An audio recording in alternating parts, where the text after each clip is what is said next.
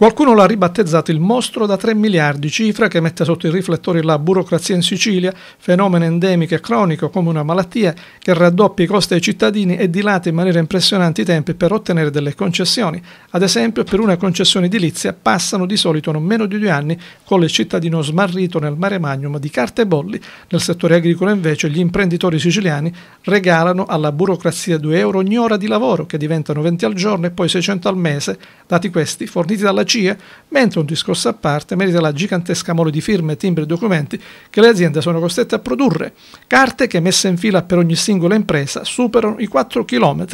Nel settore poi del fotovoltaico sono bloccati ad oggi investimenti per 5 miliardi e una pratica di autorizzazione compie in media 262 passaggi dagli uffici prima di essere completata.